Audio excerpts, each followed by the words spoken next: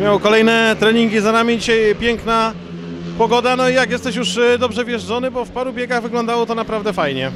Pierwsze biegi się trochę pogubiłem. Trenowałem dzisiaj tutaj rano. Przysły mi nowe silniki, chciałem je przepróbować. E, O 11 rano wyjechałem na tory, inna była pogoda, inna była nawierzchnia. Trochę tutaj pokombinowaliśmy, zostawiliśmy to, co było na treningu, to, co nam najlepiej odpowiadało.